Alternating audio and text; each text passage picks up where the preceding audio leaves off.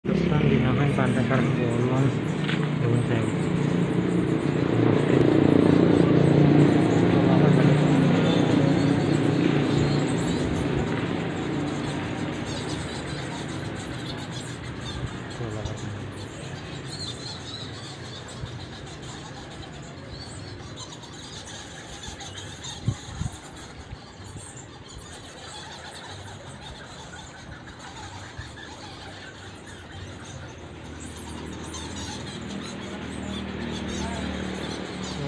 Gua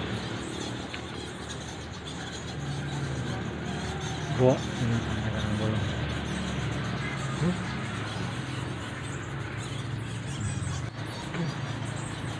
Motor sugun